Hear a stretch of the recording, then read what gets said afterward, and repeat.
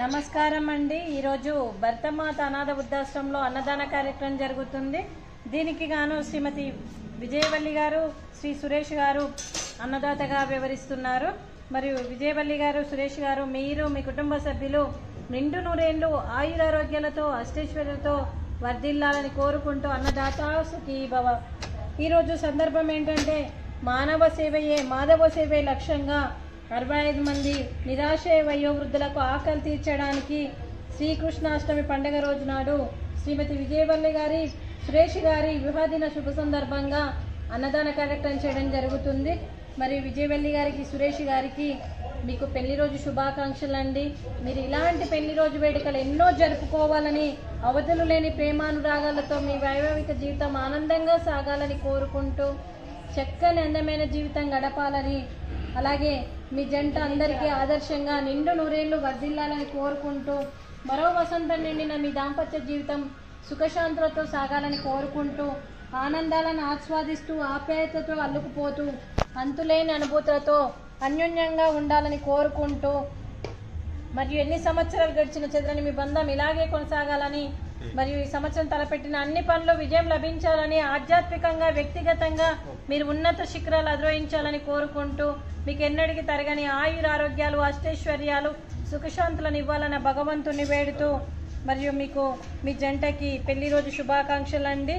అలాగే శ్రీమతి విజయవల్లి గారికి సురేష్ గారికి చిరంజీవి విశాంత్ గారికి హర్షిత్ గారికి శ్రీమతి రమ్య గారికి శ్రీమతి ఉదయ గారికి తాత నాగేశ్వరరావు గారికి వెంకటరాజలక్ష్మి గారికి దీర్ఘాయుష్మాన్ భవ. ఆ దేవుడు దీవెనలు ఇరవై ఐదు మంది ఆశీస్సులు మీకు ఎప్పుడు ఉండాలని కోరుకుంటూ దీర్ఘాయుష్మాన్ భవ.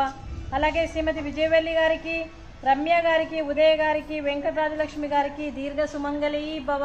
మీరు నిండు ముత్తైతనం చేసి ఎంతో మందికి ఆదర్శంగా నిలవాలని కోరుకుంటూ అలాగే ఆ దుర్గాదేవి ఆశీస్సులు ఆ లక్ష్మీదేవి ఆశీస్సులు మీకు ఎప్పుడు ఉండాలని కోరుకుంటూ మీకు అంతా మంచి జరగాలని కోరుకుంటూ నమస్కారం అండి అలాగే శ్రీమతి విజయవల్లి గారికి సురేష్ గారికి వారి కుటుంబ సభ్యులందరికీ శుభాకాంక్షలు శుభాశీస్సులు ధన్యవాదాలండి.